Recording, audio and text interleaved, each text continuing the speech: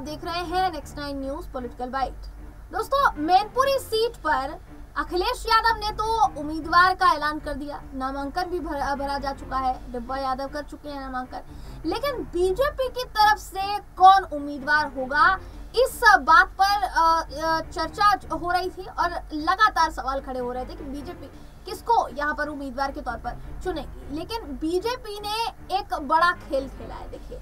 BJP ने अपर्णा यादव को sideline कर दिया है और यहाँ ओबीसी उम्मीदवारों को साध ओबीसी वोटर्स को साधने के लिए माफ़ कीजिएगा, सीधे तौर पर बड़ा पत्ता खेला है और रघुराज सिंह शाकिया को इस सीट से उम्मीदवार घोषित कर दिया है। जी हाँ दोस्तों, रघुराज सिंह शाक्या जिनको लेकर कहा जाता है ओबीसी के जाने माने नेता है, ओबीसी चेहरा है, बड़ा ओबीसी चेहरा है और मैनपुरी सीट की बात करेंगे तो मैनपुरी सीट पर तीन से सवा तीन लाख मतदाता ओबीसी वोटर्स है।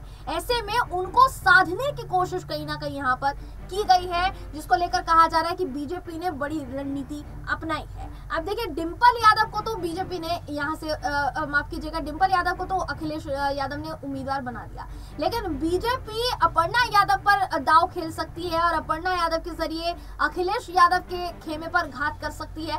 इसकी पूरी पूरी संभावना जताई जा रही थी, पर अब कहीं ना कहीं ये अपर्णा यादव के लिए एक बड़ा झटका माना जा रहा है, क्योंकि अपर्णा यादव, जो कि मैनपुरी सीट से उतरने का सपना देख रही थी, ऐसा लग रहा था कि उनको उतारा जाएगा और कहीं ना कहीं खुश भी नज़र आ रही थी। अब उनका पत्ता साफ़ तौर पर कट कर दिया है यहाँ पर। क्योंकि देखिए पहले ये चर्चा हुई कि अपर्णा यादव को बीजेपी उतारेगी। कहीं ना कहीं उनके नाम पर मंथन भी हुआ, लेकिन फिर अपर्णा यादव ने ये कहकर कन्नी काट ली कि शायद वो इसमें दिलचस्पी नहीं जताती है। यानी मैनपुरी सीट से उतरने में उनको कोई दिलचस्पी नहीं है। हालाँकि ये पूरा घटनाक्रम बहुत बड़ा है। प्रतीक यादव का पहले बयान आ चुका था, उसके बाद कहीं ना कहीं अपर्णा यादव का रिएक्शन बदला हुआ नज़र आया, और उसी के बाद यहाँ बीजेपी ने रघुराज शाक्या को यहाँ से उम्मीदवार चुना है। हालाँकि अपर्णा यादव इसका यहाँ से बदला लेंगी बीजेपी से, या फिर बीजेपी के साथ खड़ी रहेंगी दोस्तों, ये देखने वाली बात बहरहाल, इस खबर पर आपकी राय क्या है, कमेंट करके ज़रूर बताइएगा। वीडियो अगर आपको पसंद आया हो तो वीडियो को लाइक और शेयर करना ना भूलें। फिर मुलाकात होगी आपसे किसी ऐसी ही खबर के साथ तब तक